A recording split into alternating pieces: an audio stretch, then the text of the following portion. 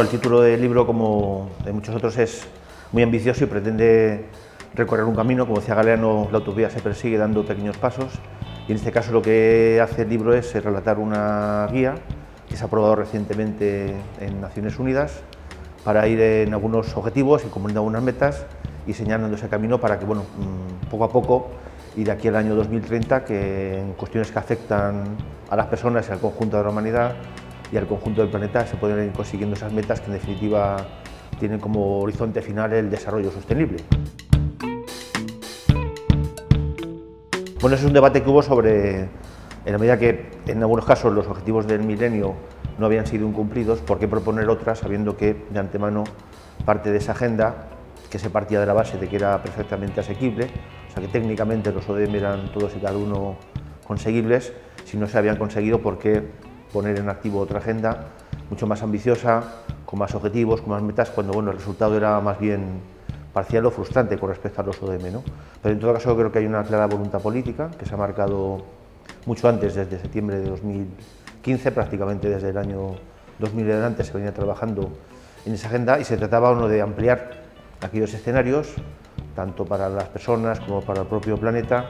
que cumpliendo esos objetivos fueran mucho más ambiciosos, no solo en torno a cuestiones básicas que afectaban a las eh, necesidades más perentorias de cualquier persona, en salud, en alimentación, en pobreza, sino creo que era imprescindible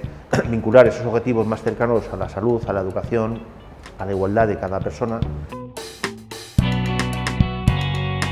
Y lo primero es lo que comentaba, voluntad política. La voluntad política se demuestra cuando 195 jefes de Estado y de Gobierno se reúnen en Nueva York y deciden hablar con su presencia y estampando su firma en un documento que aunque no sea un tratado, es decir, no sea vinculante, genera un compromiso en cuanto a que eh, tanto dentro de ese Estado, la sociedad civil, instituciones internacionales van a vigilar la supervisión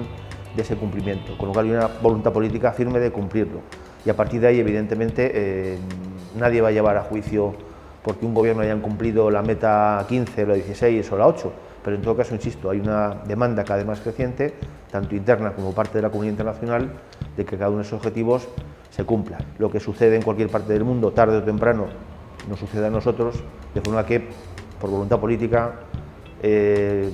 por egoísmo y en ausencia de recursos económicos, todos tenemos que poner de nuestra parte para poder conseguirlo eh, en Zimbabue, en España y por lo tanto en el conjunto de la humanidad. Eh, hoy creo que todo el mundo ya es consciente de que no se debe luchar solo contra la pobreza, sino que si no se lucha contra la desigualdad, la pobreza prácticamente seguirá existiendo. Con lo cual había que incorporar la lucha contra la desigualdad como uno de los objetivos de desarrollo sostenible. No se puede hablar de cuestiones medioambientales sin tener en cuenta un concepto más amplio de lo que supone sostenible y por lo tanto esa dinámica se incorporó a la agenda eh, que se dibuja en septiembre de 2015, incorporando esa dimensión en lo que se refiere al ámbito económico, social y ambiental, decir, no solo ambiental, sino vinculándolo también a lo económico y social. Me refiero a que hay una parte importante de la sociedad española que sigue creyendo en la solidaridad. La crisis ha barrido del mapa quizá el ejercicio de esa solidaridad que se pretende, pero que es difícil rascarse el bolsillo en estas circunstancias, pero creo que sigue latente y seguramente en cuanto hay una pequeña recuperación, pues va a volver a salir, o sea que existe ese tejido, está atomizado, no se centra solo en la ayuda al desarrollo, tiene otras dinámicas mucho más amplias, pero es imprescindible para una sociedad sana, en este caso para la política interior y en el caso del desarrollo para una sociedad sana con respecto a nuestra presencia en la vida internacional. Conviene recordar que este año 2015 ha sido importante porque ha habido tres grandes citas que afectan al entorno del desarrollo sostenible. Una en julio en Addis Abeba, en Etiopía, donde se trató temas de financiación del desarrollo, algo vital. Si no hay recursos, evidentemente las acciones se quedan en, en retórica, como ha solido pasar la que comentábamos antes de la Cumbre sobre Desarrollo Sostenible, la que define la Agenda 2030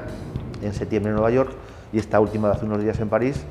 donde bueno, pues, eh, es la COP21, es decir, que ha habido 20 antes, con lo cual refleja bueno, que